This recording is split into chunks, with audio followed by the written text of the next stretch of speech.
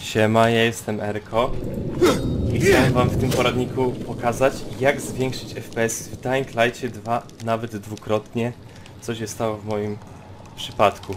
Jak widać w prawym górnym rogu mam w tym momencie około 50-60 FPS-ów, a za chwilę sprawię, że będę miał ich ponad 100.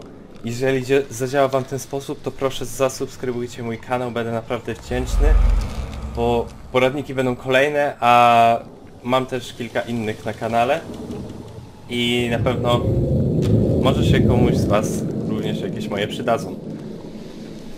Oraz zostawcie komentarz, gdy zadziała i łapkę w górę. Dobra, lecimy. Wystarczy zrobić jedną prostą rzecz. Wchodzicie w opcję, w grafikę i tutaj szukacie tryb skalowania rozdzielczości. Jak go znajdziecie, zobaczycie, że jest tutaj kilka innych trybów i ustawiacie sobie jeden z trybów FSR. I ustawię sobie na przykład FSR wydajności i w tym momencie jakość jest może troszeczkę słabsza, ale nie jest to wielka różnica, a moje FPS jak widać tutaj sobie pobiegam wzrastają do ponad setki z 50, więc to jest naprawdę duża różnica. Możecie również wejść i sobie ustawić też zrównoważone między wydajnością a jakością, albo jakością. To jakość będzie dobra, a wasze FPS-y też będą sporo większe, jeżeli nie chcecie też tracić na tej grafice, a mieć tą dobrą jakość.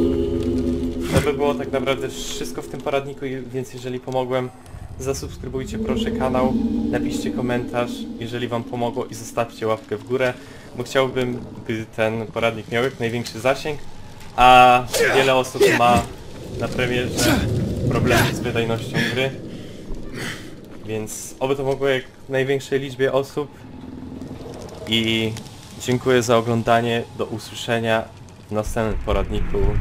Ucieszy mnie każda osoba, która napisze, że jej to pomogło. Do następnego razu, cześć.